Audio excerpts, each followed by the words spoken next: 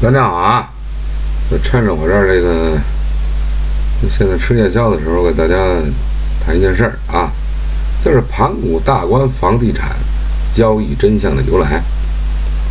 这件事儿怎么回事儿啊？是在二零零二年的时候啊，大概就在非典那时候。非典那个时候呢，我在这个西直门那儿，北京西直门那儿有个金运大厦，那底下是中信银行。我在那一个叫中国债权交易中心的地方，给人他妈人体实验场打工，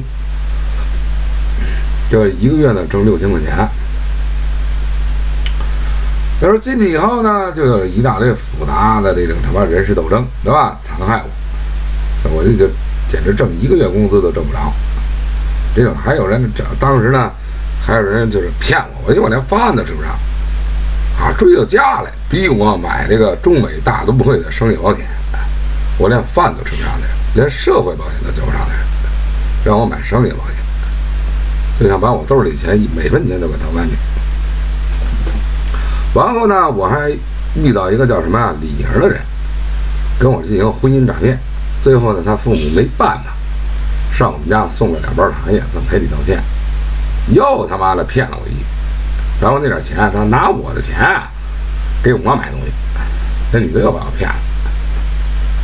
实际上我一开始就很清楚，你讲，你先听我说，我老婆在这儿呢啊。当时的这个情况呢，这里头呢，这里头这都是次要问题。这里头呢，这个时候呢，出现了一个什么问题呢？就出现了啊，我还在说啊，在当时啊，还发生了这个我受到迫害，然后在公共在马路上公共汽车上。受到流氓威胁，后来人北京市人民群众呢找我，跟一个人跟一个可能是国宝或者什么呀打起来了，一个老头老太太劝我说：“小伙子，你躲远点儿，别别别理他们，他们这帮人什么都干得出来。”这当时在公共汽车上我还受到人身安全威胁。当时呢出了一件事儿呢，在这之前出了一件事儿什么呢？就是我那时候我在首都经贸大学啊，就是李克强他老婆那个大学，那时候我不知道啊。我在那上的会计研究生班我认识了一个同学叫张宁，张宁是北京一个大公司的一个财务上的这个经理。当时中国呢正在搞什么呢？四大这个呃资产管理公司处理不良资产，而这个盘古大观呢，它原来是什么呢？它原来是一个红二代修下的一个烂尾楼，明白吧？就在开啊开奥运会之前呢，有人呢就是很早的时候。就在这个龙王堂，就我住的这个地方，这个农村后来拆迁了，就在那奥运奥运中奥林匹克公园那地方，就买了六十亩地，完了旁边呢修了奥龙修了这个盘古盘古盘古大观原来的那栋楼，它就是一个钢筋水泥柱子，根本就没装修，这就是一个红二代修完的烂尾楼。后来我一看呢，就在家门口还有包括亚运村的名人大酒店，据说那是沈阳市公安局局长他们弄的，是吧？当时呢，就说听说呢也是经营不善。后来呢，我就动了动主意，我说像这守在眼巴前的这两个烂尾的东西，那把它处理了啊，对吧？后来呢，我就联系了一下我那同学张宁，找了一下这中国债权交易中心的这个谁呢？他这个总裁叫什么？姚景忠。这姚景忠后来骗了南朝鲜人八百万人民币。找了一下这姚景忠，他还有一个副总裁姓李。明白吧？找了一个姚景忠，这姚景忠鼓吹的什么呀？鼓吹的就是国有资产私有化，实际上就是公开号召各级官吏、有权势的人抢劫国有资产，就干这个。哎，处理不良资产，以处理不良资产的名义大肆抢劫嘛。那个时候，这个姚景忠呢，他那个时候呢，我就跟他提了，我找我这同学，我没去跟姚景忠谈，因为那时候我在跟他打工啊。我找的这个我这同学张宁去跟这姚景忠见了一面。他谈了一下什么呢？就是说这个盘古大观和这个名人大酒店，哎，这个两个烂尾楼能不能给处理一下？对吧？这个这个好买，这一看这地价呢就不错呀，对吧？怎么会成烂尾楼呢？这是当时盘古大观的真实状况。后来不就出现了什么郭文贵和刘志华抢夺盘古大观，乱七八糟这打成一团了嘛？这么来的个盘古大观，是吧？这这就是。所以这个盘古大观原来是个红二代弄的，完了后来呢，可能是跟我不知道跟我这有没有具体关联，因为当时我要把这个从那个抛售盘古大观和名人大酒店过程中，我作为一个打工的人，我我给人对缝一样，我要拿一笔钱。我穷啊，没钱呐，挣要挣点钱呐，我得我得我谁不想挣钱呢？就这么着提起来这笔买卖，后来就听说那刘志华和郭文贵打起来了，啊，就打起来了，这么争夺起来了。所以我具体情况，他们内部情况我就不清楚了。哎，这一开始盘古大观是个红二代留下的烂尾楼，留下烂尾楼，他以前都已经修好了。郭文贵接手的那个时候啊，他不过是到这儿来装修一下。装修一下，哎，这是盘古大观的原来的真实情况，啊，真实情况。我现在呢，我本人我再一次，啊，穿线搭桥是吧？也别就这盘古大观争了，咱干脆呀，就以烂尾楼当时的按照这个汇率计算，以今天当时烂尾楼的价格按汇率计算，把它卖给川普吧，咱拍卖给川普吧，好吧？把这烂尾楼作为见面礼，咱们送给川普总统。川普总统不就是搞这个房地产开发的吗？对不对啊？咱看川普总统来怎么解决这个盘古大观的问题，是不是啊？别这特务那特务啊，这个呃又跑到美国这个那个的，在国内又嚎喊懒叫，没意义，对不对啊？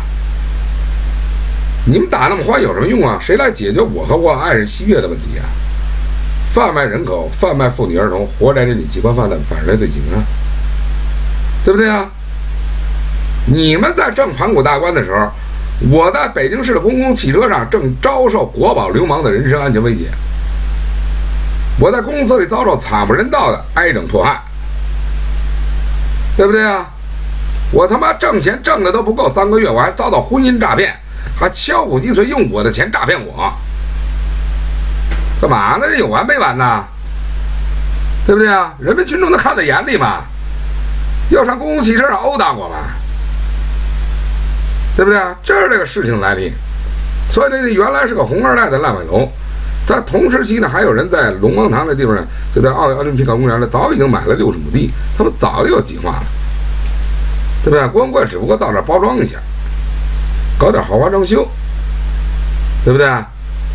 所以这楼到底是怎么回事？他共产党你自己心里清楚。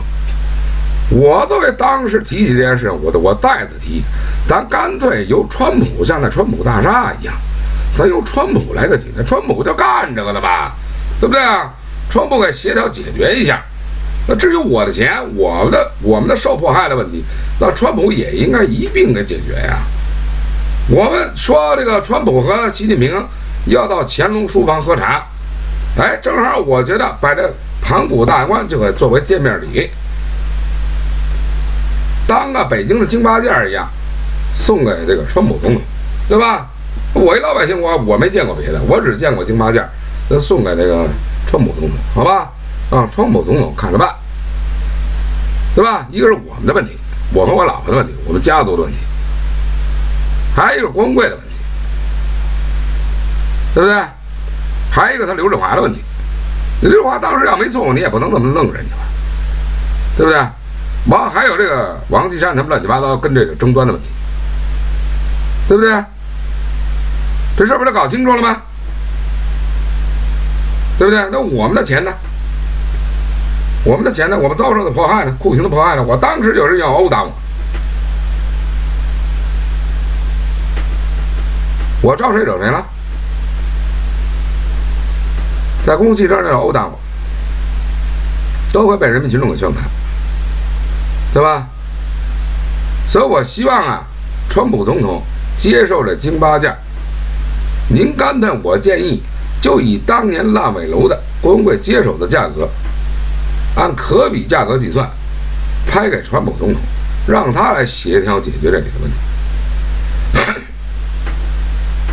我觉得这是比较好的一个办法，对吧？你与其在乾隆出书房那儿忤逆犯上，你不如拎好这京八件，少喝点普洱茶。中国的普洱茶据说含毒，含毒比较高，啊，还有这个极其不利于身体健康的毒品，那个金属、金属重金属。所以我觉得还不这样，给川普总统这京八件，谈谈这盘古大观吧，对吧？往往是一个毛主席嘛，乒乓外交嘛，一个小球推动世界嘛，对吧？咱就以盘古大观的京八件来谈一谈。就张扬为什么遭受这种迫害？张扬为什么遭到人身安全威胁？张扬为什么遭到了婚姻诈骗？对吧？张扬为什么要被强迫根本买不起的商业保险？张扬为什么最后搞得差点家破人亡？咱把这事儿谈清楚，你国安会也得有个交代。你别跟郭宝胜那谈什么法律，您谈什么法律啊？您要谈法律，我想问你一下：我当年怎么受到人身安全威胁的呀？啊！你光贵怎么拿到这大厦的呀？光会，你想想，我就我跟你说一句话，在北京这四九城这面上，你个光贵就站在这盘古大观那儿，你不觉得自己头晕呐？你不觉得天旋地转呐？就以您的身份和斤两。对吧？你跟谁在亲我？也，我也不知道怎么回事反正我当年就是这种这种状况。我当时找了张宁，我再跟大家说一下，找张宁想买名人大酒店，这是沈阳市公安局长，就说经营不善嘛，那怎么办呀？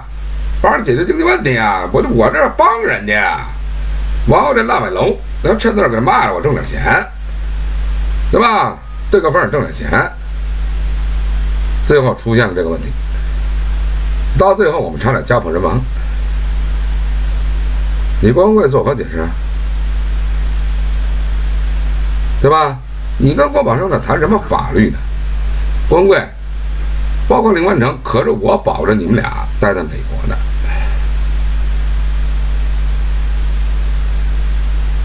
我要让你们俩回国那一句话的事你信不信？你光会说你该说的，做你该做的，你别给我忙活其他的。我让你待在美国，让你说什么，你不知道吗？你放老实点。你长了袁弘兵什么呀？老酒鬼。张明是什么呀？馄饨猴。郭宝胜是什么呀？干硬话。你干嘛呢？你找一干硬话采访什么呢？你有毛病啊，是吧？你光怪是精神错乱了还是怎么着啊？啊？你说你该说的，你五哥为什么被处理了？你干什么了？啊？你光怪别在这装蒜，你知道吗？